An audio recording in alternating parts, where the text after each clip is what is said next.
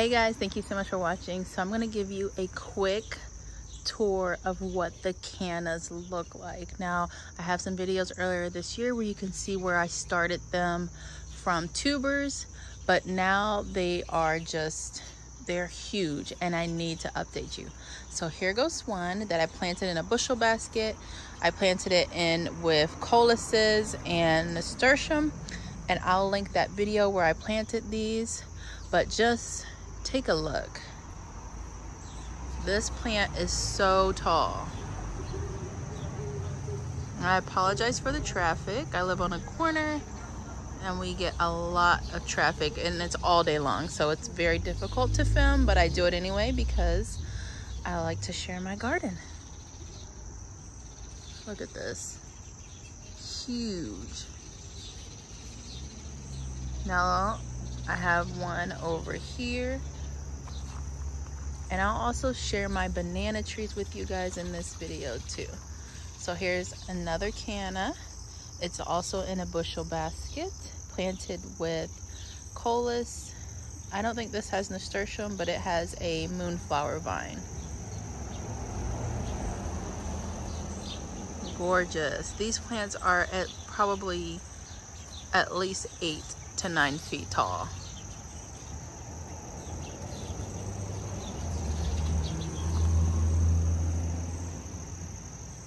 just huge, huge.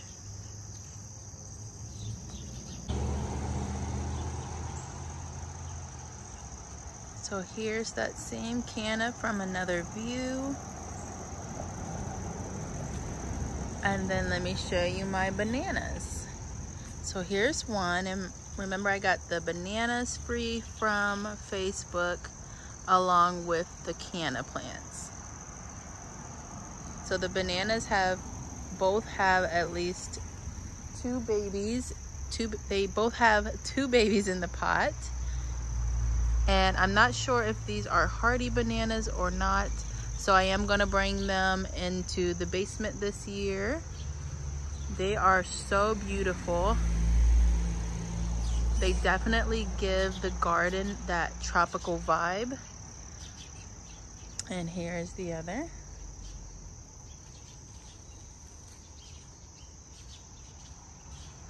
so beautiful. So bananas, canna lilies, elephant ears, caladiums give the garden those tropical feels. Um, with the coleuses, you can add those in. They in all different colors. They give a nice tropical vibe in any color scheme that you want.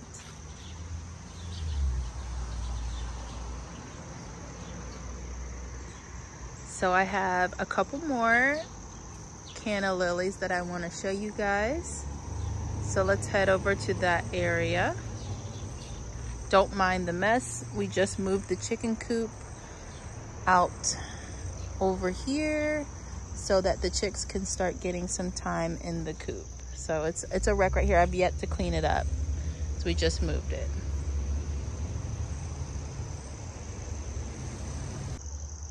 So there are two pots full of canna lilies there. Um, let me walk up there. See, I just wanted you to see how tall they are. I know it's hard to tell in a video, but they are so tall.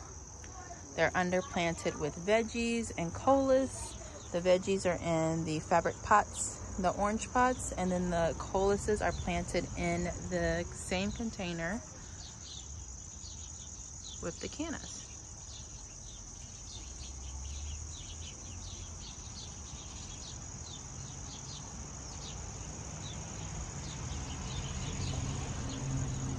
And then I have another canna here.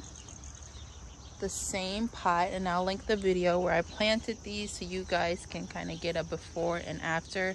Now my this just looks awful. Don't even pay attention.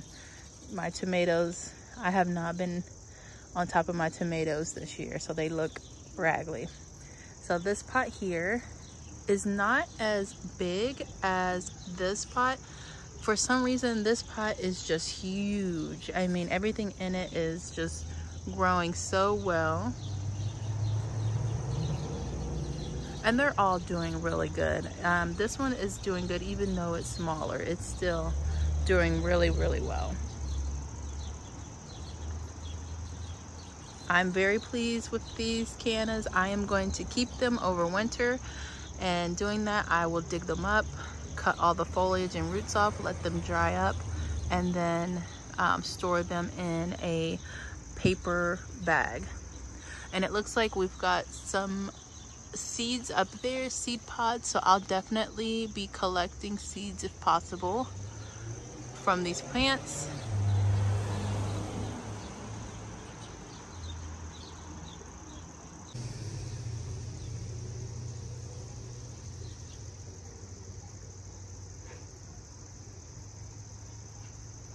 These cannas are so beautiful, you guys. I have enjoyed them so much this season. I'm so happy that I went and got them from Facebook and it wasn't shady.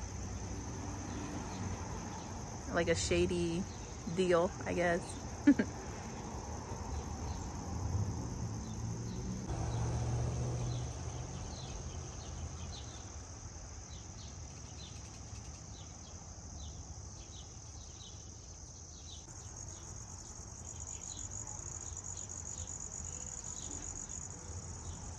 They're always watching me when I come outside. Those are my babies. And here are the red cannas that I have in the ground. I do have some other green cannas that I planted in containers in the front. But this video, I'm just talking about the free cannas that I got from Facebook. So I planted, I had one pot that I planted in the ground and then I had a tuber that I planted a little later right next to it. And the tuber came up and they're kind of intermingled, but they look amazing.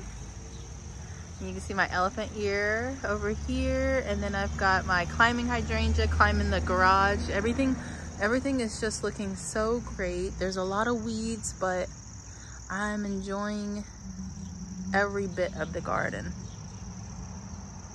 Weeds and all. Thank you so much for watching this video. I hope you guys enjoyed it. Let me know if you guys have any canna lilies in your garden in the comment section below and I'll see you guys in the next video.